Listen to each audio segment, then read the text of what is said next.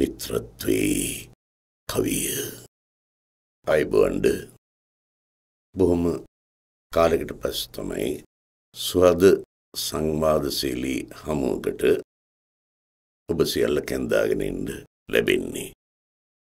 අපි ගෙනට කාලාත්‍රය යාත්‍රාව කිව් වගේ සංක්‍රාන්ති සමයකට පස්සේ. නමුත් අපිට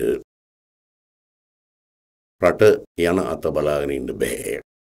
අපෙත් තියෙනවා ආත්මයක් ආධ්‍යාත්මයක් අපිට තියෙනවා හිතක් අපිට තියෙනවා හදවතක්. මෙවා සනසගණ්ඩ අපට අයිතියක් තියෙනවා.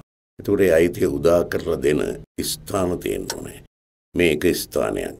වීර කැටිය ශ්‍රී ලංකා සිංගප්පූරු මිත්‍රත්ව බාලිකා පාසල.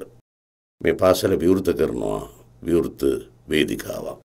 ලස්සන නමක් තියෙනවා. මිත්‍රත්වේ කවිය මිත්‍රත්වේ කවිය. ඒ වගේම ඒකට පූර්ව කතනයක් තියෙනවා. ස්වභාවිත ගීතයේ නූතනවාදී අර්ථකතනය. ඒකට ඔබට හිතෙන්න පුළුවන් මේක ගැඹුරු වැඩිද කියලා. නෑ. සරල මිනිස්සු වෙන්නේ. බොහොම ලස්සනට සහභාගී වෙනවා අපේ ප්‍රවීණ ගායක චන්දන ලීනරච්චි. ඔහුට අත්තර සපේනවා අපේ ප්‍රවීණ ගායක දුමිත් ගයන් බදුල්ලගේ. ඒවගේම විරකටිය ශ්‍රී ලංකා සිංගපුරු මිත්‍රත්ව පාසලේ සංගීතාචාර්යතුමා ගීතත් ගායනා කරනවා බෙවුල් රත්නායක වගේම සංගීත කණ්ඩායමත් ඉතාම ලස්සනට මේ වනවා. කතනයත් ඔබගෙන් මයි නමුත් ඔහු බොහොම ලස්සනට මාධ්‍යවල තා විශිෂ්ට විදියට තමන්ගේ මාධ්‍යවේද ඉදිරිපත් කරපු කෙනෙක් ඒ තමයි සම්පත් බණ්ඩාර. අපි කොහාටද එකතු වෙන්නේ? අපි එකතු වෙන්නේ පිරිගැටිය ශ්‍රී ලංකා සිංගප්පූරු මිත්‍රත්ව පාසලේ එලිමහන් රංගපීඨයට. ඔබ හයි කීයටද කියලා? දෙසැම්බර් දෙක. දැන් කීයටද කියලා අපා මං කී දවස. එහෙම තමයි අපි මාරු කරලා කියන්නේ. දෙසැම්බර් දෙක තමයි දවස වෙලාව තමයි පස්සරු හයයි තිය.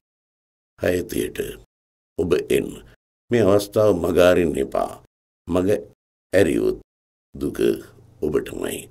මේ හැමදාම ලැබෙන අවස්ථාවක් නෙමෙයි මේ සියලු සුසංගයෝගයක සොඳුරු අභිප්‍රේණය තමයි මෙතන අපි මතුවෙන්නේ.